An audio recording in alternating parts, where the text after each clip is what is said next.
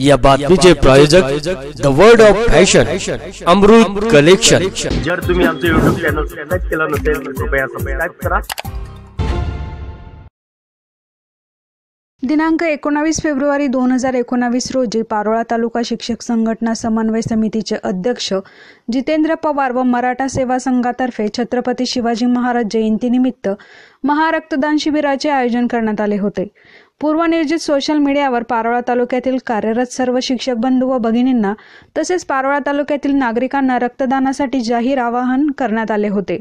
सर्व रक्तदात्यांना जळगाव जिल्हा परिषद अध्यक्षा उज्ज्वलाताई मच्छिंद्र पाटील यांच्या वतीने छत्रपती शिवाजी महाराज यांची फोटो फ्रेम भेट देण्यात आली.